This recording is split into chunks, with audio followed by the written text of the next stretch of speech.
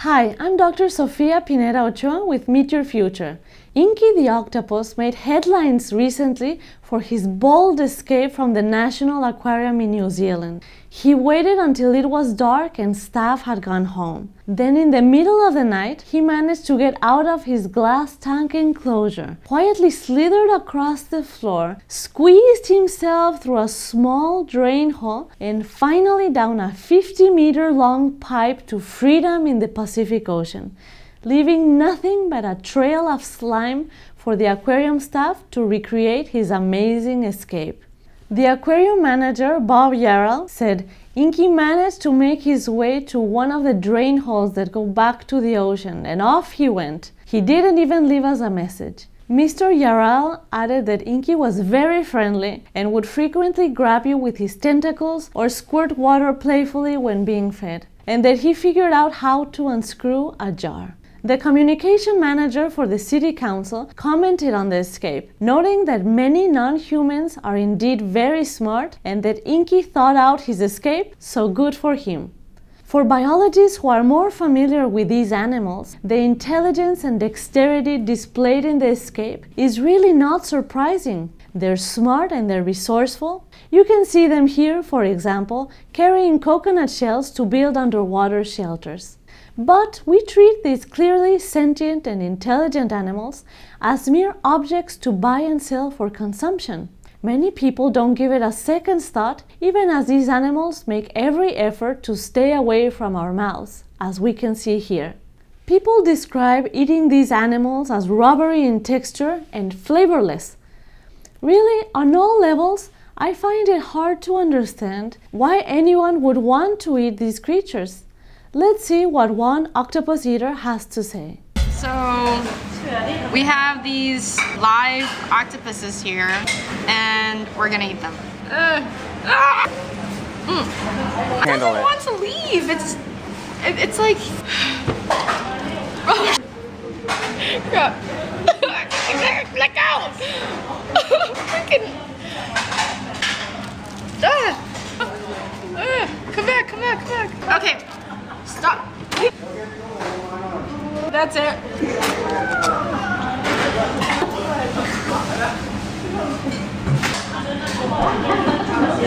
Ah, done. Okay. How was it? Describe your experience. The moment I put it in my mouth, I just had to commit to it. Um, but otherwise, just touchy and everything, and slimy, and, and starting to stick everywhere. Its legs are going all over the place. Dr. Jennifer Mather, a cephalopod expert and professor at the University of Lethbridge in Alberta, Canada, has studied octopuses and their close relatives since 1978 and has extensive field research. She commented on the practice of cooking and eating octopuses alive. She says, There's absolutely no doubt that they feel pain. They have a nervous system which is much more distributed than ours. The octopus, which you've been chopping to pieces, is feeling pain every time you do it. It's just as painful as if it were a hog, a fish, or a rabbit, if you chopped a rabbit's leg off piece by piece. So it's a barbaric thing to do to the animal.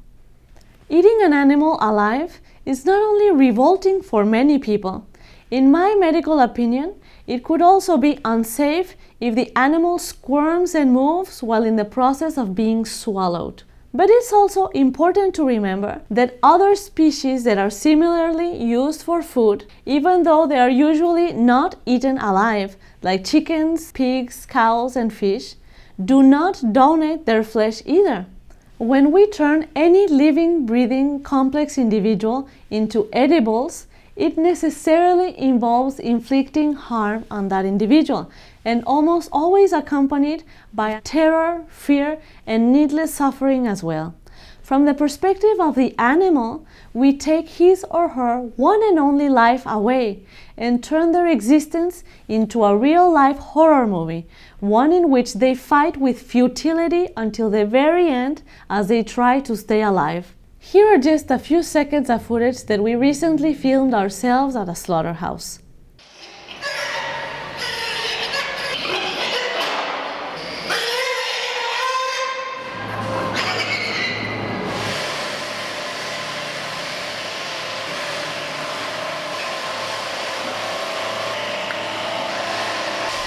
We kill approximately 65 billion land animals and up to 2.7 trillion marine animals every year for food. This scene is literally happening again and again to other animals right now. And it's happening literally every single minute of every single hour of every single day, all year long, year after year.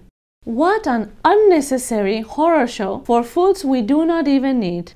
And moreover, there is now broad consensus that the production of animal foods is also an environmental disaster of immense and global proportions. Just to briefly touch on this, according to the United Nations FAO, raising animals for food is responsible for more human caused greenhouse gas emissions than the entire global transportation sector combined. And the livestock sector may well be the leading player in the reduction of biodiversity since it is the major driver of deforestation as well as one of the leading drivers of land degradation, pollution, climate change, overfishing, among other serious global environmental issues. As for our marine ecosystems upon which octopuses and other aquatic animals depend, loss of ocean biodiversity has been accelerating at an unprecedented and alarming rate. We now have the technology to extract nearly every fish in the ocean. In fact, we have enough fishing capacity to cover at least four Earth like planets. We are literally eating the oceans dry. An extensive four-year study from Dalhousie University found if our current fishing trends continue, we will face a global marine ecosystem collapse and essentially have fish-free oceans by 2048.